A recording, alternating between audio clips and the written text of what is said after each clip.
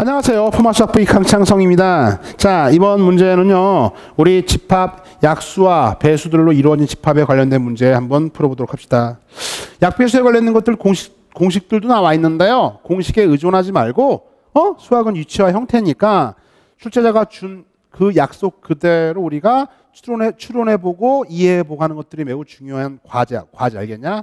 얘 집합 때만 그런 게 아니야. 모든 단원에서 우리가 어떠한 상태, 출제자가 주어진 상태, 문제가 주어진 그 상태를 이해하고 또 추론해가는 과정들이요 매우 중요하다고 1등급 따기 위해서는요. 가자. 자연수 n에 대해서 n의 양의 약수 전체의 집합을 an이라고 했어요. 그렇죠? 자, an을 이렇게 정의했어요. an은요. 자연수 n의 양의 약수의 집합으로서 이렇게 얘기하고 있어요. 그렇죠? 그냥 쓴 거야. 그냥 쓴 거야. an은요. 이런 하여튼 얘는 집합이야. 집합인데 얘가 변하잖아. 첨자 변수, 첨자 변수 이거가 변할 때 저 변하는 놈의 양의 양수의 집합이라고. 그렇죠? 예를 들어서요. 친절하게 얘까지 알려주고 있어요. 알만한데 A6 같은 경우에는 어떻게 돼요? 여기 6이죠. 6. 6의 양의 약수, 6의 양의 약수의 집합 1, 2, 3, 6이라고 얘도 들어주고 있어. 그렇죠? 됐죠? 이때 두 자연수 mn에 대해서 보기 중 항상 옳은 걸 모두 골라라 그랬지. 그렇지? 기억부터 가자. 기억은요. mn이 서로소이면 mn이 서로소, 서로소는요 대수에서 이건 좀 집합이 아니야. 대수일 때는요 공약수가 1뿐인 두 자연수 정수를 말해. 그렇죠? 이때 am과 다음에 어떻게 해야 돼요? 어, an이요. 교집합이요. 공집합이냐 물었어요. 그렇죠? 자, 서로소인데 공집합 한번 해보자. 그죠? 서로소인 거 뭐 해볼까요? 대충 2하고 3 해볼까? 2하고 3은 서로 소 관계 맞잖아. 그렇지? 맞지? 그럼 봐요. mn A2하고요. A3의 교집합이 공집합이냐? 에이, 그건 아니겠네. 그렇죠? 얘네들이 서로소라고 하는 게 뭡니까? 사실은요. 공통인 약수가 몇 개? 1 하나가 있잖아. 1 하나가 있기 때문에 봐.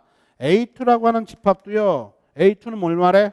2의 양의 약수니까 1하고 2지. A3는요. 3의 양의 약수니까 1하고 3이잖아. 따라서요. 교집합이요? 이건 이렇게 쓰면 안 되지. 어떻게 해야 돼요? 교집합이 어떻게 해야 돼요? 교집합이 여기 예.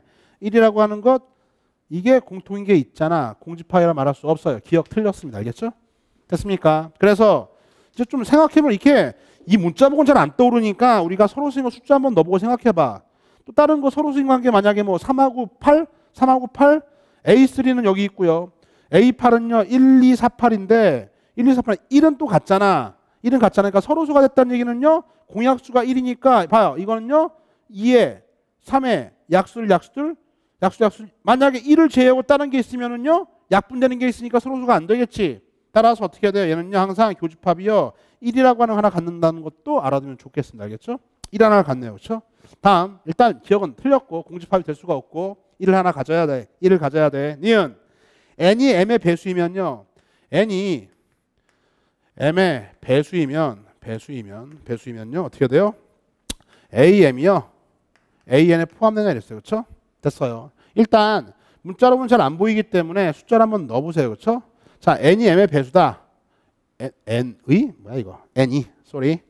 n이 n이 m의 배수예요. 어, 예를 들어서 n이 6, 6 할까? 6?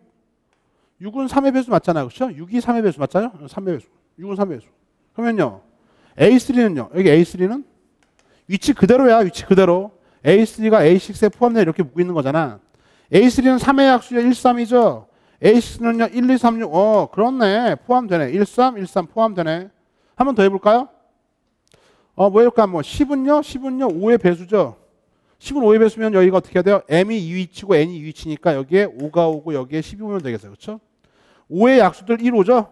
10의 약수요? 1, 2, 50이잖아요. 1호 여기 있잖아. 아, 되네. 그렇죠? 된다. 이렇게 가도 좋은데 해놓고서 이제 일반적으로 한번 생각해봐. 이렇게 몇 개 해보고서요. 아, 되네. 라는 거 확인했으면 이제 일반적으로 한번 생각해 봅시다. 일반적으로. 봐요.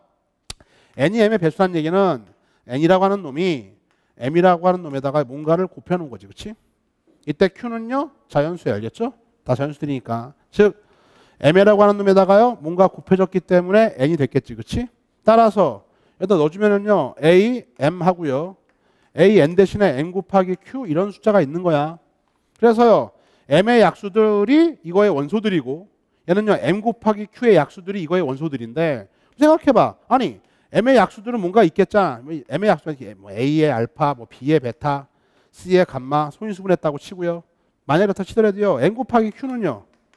a의 알파, b의 베타, c의 감마에다가 q가 뭔지는 모르지만 하여간에 q가 곱해져 있어서 이 약수 자리에 들어갈 수 있는 것들은 여기도 몽창 닫아 들어갈 수 있는 거지. 그렇지? 그러니까 m의 약수들은 당연히 갖고 있고 추가적으로 q가 작동해 가지고 약수를 더 가질 수 있는 게 이놈이야. 따라서 얘가 갖고 있는 약수들은 당연히 갖고 있다고 이렇게 일반적으로 있으면 좋겠다. 이렇게 되는 거지. 그렇지?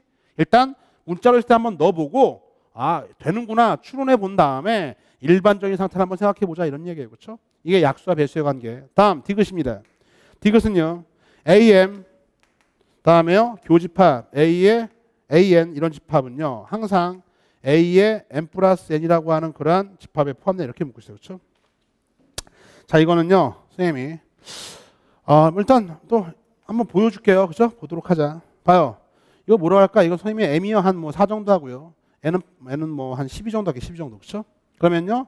4 더하기 10이 여기에 포함되냐 한번 보도록 하자. 그렇죠? 어떻게 되는가? 문자할 때 일반적으로 증명하면 좋긴 하지만 일단 한번 뭔지 한번 쳐다보자고. 얘가 뭘 묻고 있는지 봐요. A4야. A4. 4의 약수의 집합 뭡니까? 1, 2, 4죠? 12의 약수의 집합 1, 2, 3, 4, 6, 10 이렇게 되잖아.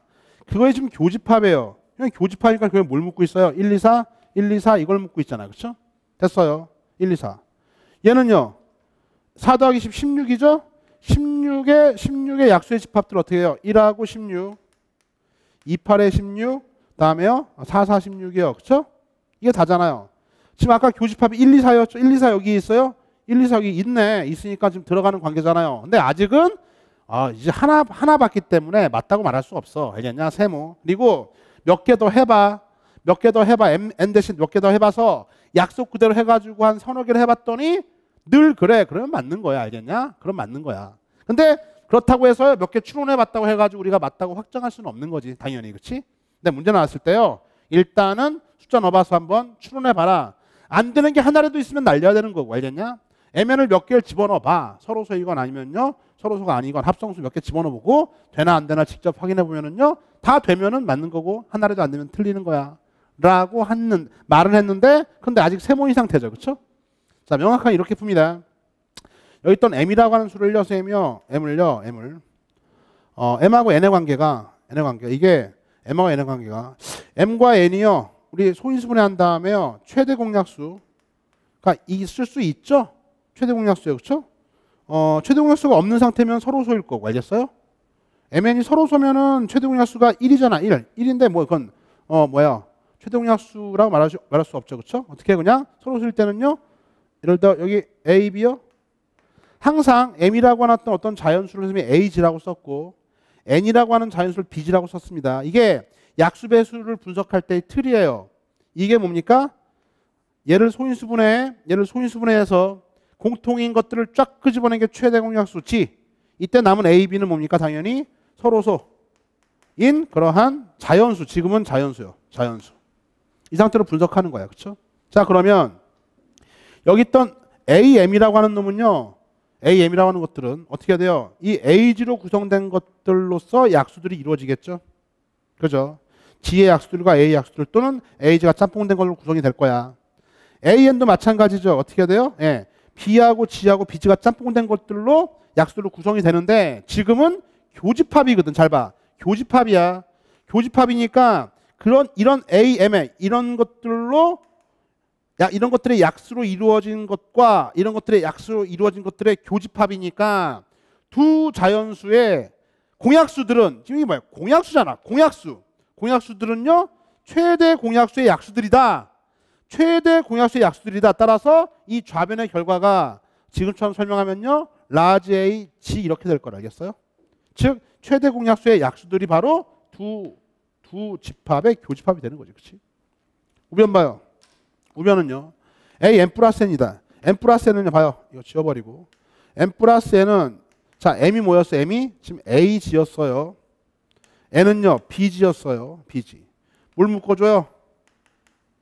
G 묶어낼 수 있잖아. 그렇죠? 따라서 a n 플러스 n은요. g의 약수들은 당연히 다 갖고 있죠.